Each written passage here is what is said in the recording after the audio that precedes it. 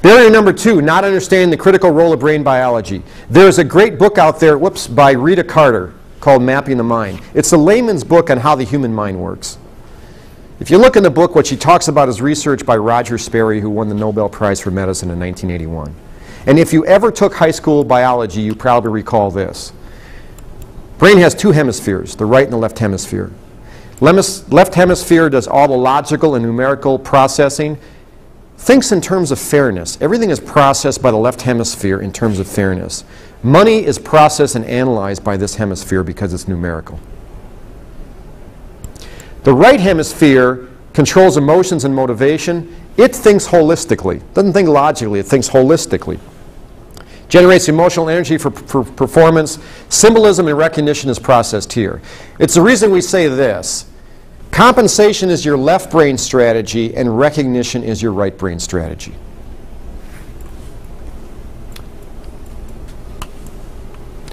Now, here's what's interesting. The more tangible the communication vehicle, the more it's processed by the left hemisphere. This is done unconsciously and unavoidable. The worst offender is cash. I'll give you an example. Um, you've got a service recognition program at Chris Hansen. Okay. Imagine you have a new accountant come in and he says, you know, I'm looking at the budget line item here and I got an idea. You know, we're going to take the amount of money we spend on that particular recognition program and we're going to convert the thing over to a check for every employee. So we're going to give them a check for the, whatever we would have expended on that recognition. Okay, let's just say the organization spends $100 when someone reaches 10 years of service with the organization. So we're going to give the person a check for $100 instead of whatever else we do. Here's the way the check gets processed.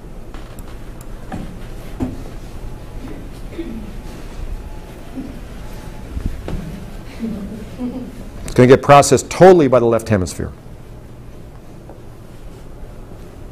Example I use is this, you know,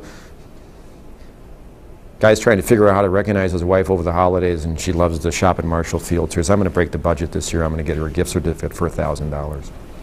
So he gets her a gift certificate for $1,000.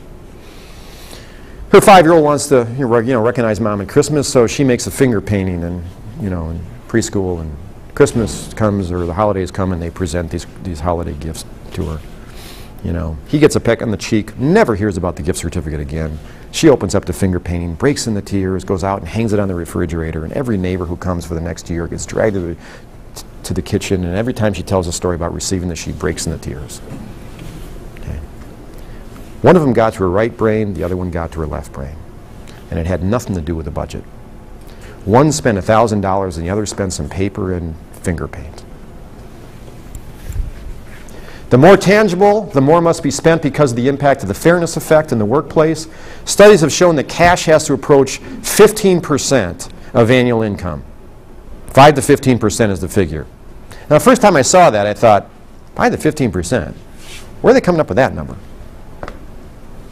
Then I thought about something I told every single person that ever reported to me on the first day they came to work for me. Got good news and bad news for you. Let's start out with the bad news. You're always going to be underpaid. Here's the good news. We're all underpaid. CEO's underpaid, I'm underpaid, you're going to be underpaid, we're all underpaid. Okay, why is that? Here's the reason why.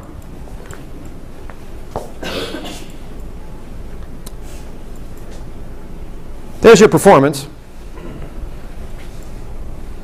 There's your compensation. And here's what I'll call the salary lag. Have any of you ever had anybody turn down a raise? oh no, my compensation already matches my performance. I'm sorry, I'm not taking that. Okay? The reality is our salary always lags our performance. And as managers, one of the things we're trying to do is just try and keep that. I mean, we're watching what people are doing to make sure that, you know, we try and get that compensation as fair as we can based on their performance and so forth. But the reality is it's always going to be that lag.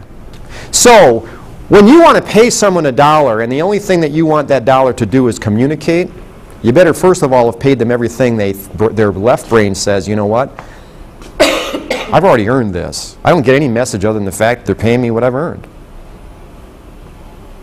That's the problem with trying to use cash for, for recognition of any type.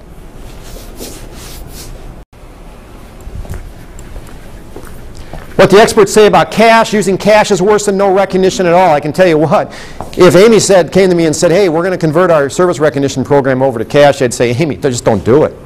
It's the one place where people will throw money back in your face. Except that very large amounts, cash will demotivate when used for recognition. Here's an example of throwing it back in your face. Anybody know what that is? Anybody? Anybody hasn't seen it already?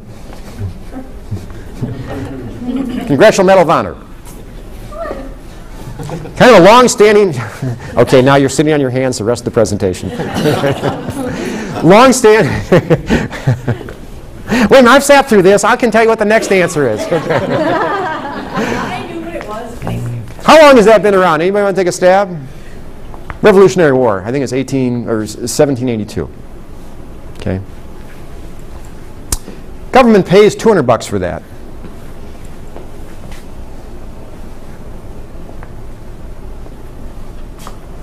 Hey, listen, thanks for jumping on that grenade uh, in Iraq and losing two limbs and saving those nine guys. Here's 200 bucks from your country. We really appreciated it. By the way, it's here in the Rose Garden, so I guess that makes all the difference to you. Just violating brain biology. Look at the impact on the return, if you will, of what they're trying to do.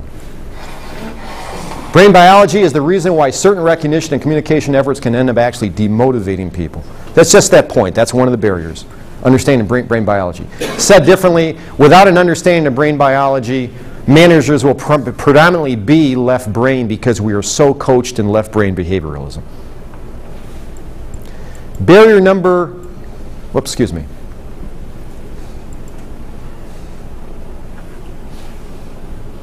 And you know what we're really talking about today? We're talking about how do we, in the future, become whole brain managers? Because we are just really couched right now in a left brain approach and view of the workplace. That's one of the major points here. Number four, be careful about what you ask. What do you want? I'm going to use it again just because it's a program that everybody's, everybody's got. If I went out right now and I surveyed 25 employees at any company in Milwaukee and said, hey, as an example, okay, again, I'm just going to use an example. You're going to hit an anniversary next year with the organization. What do you want to receive from the company in, in recognition of your anniversary? What would be the number one answer? Anybody? Number one answer would be this. The number two answer would be this. Now, we just looked at how those are two very inefficient communication vehicles because they're both compensation. So the question is this. If it's so important, why can't we just determine how to do this stuff better with surveys? In other words, why can't we just ask employees what they want? Here's the answer.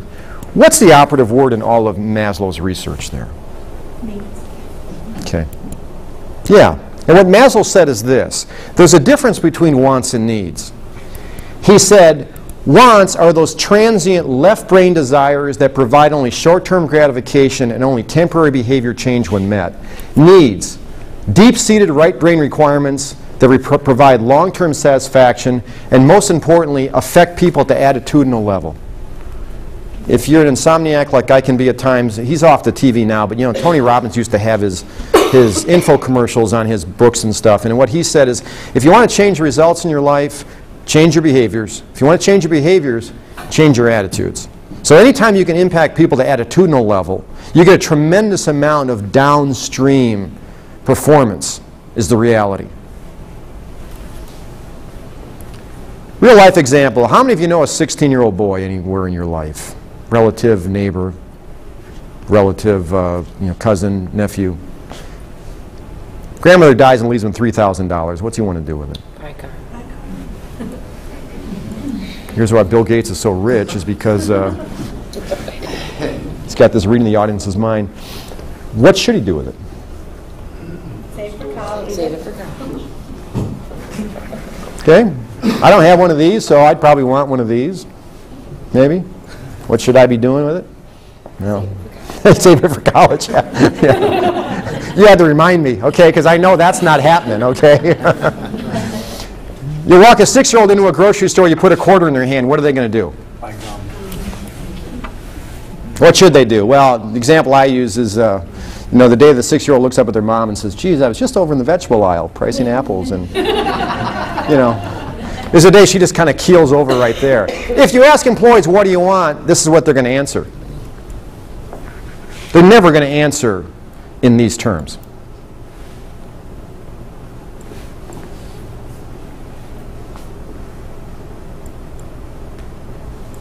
Oops. Jumped ahead there. Let me just. You can measure employee engagement with surveys. In other words, you can say, Are you happy here at Chris Hansen? You can measure if they're engaged, but you can't figure out how to fix it with surveys. Example I use is people don't walk into their psychiatrist or therapist office and say, Hey, doc, am I happy or unhappy? no, they walk in and say, I'm unhappy, which is a right brain state, and my logical left brain can't figure out why I have this lingering unhappiness. Okay? My left brain can't understand why my right brain isn't happy. Said differently, you can't have effective right brain strategies by asking employees left brain questions.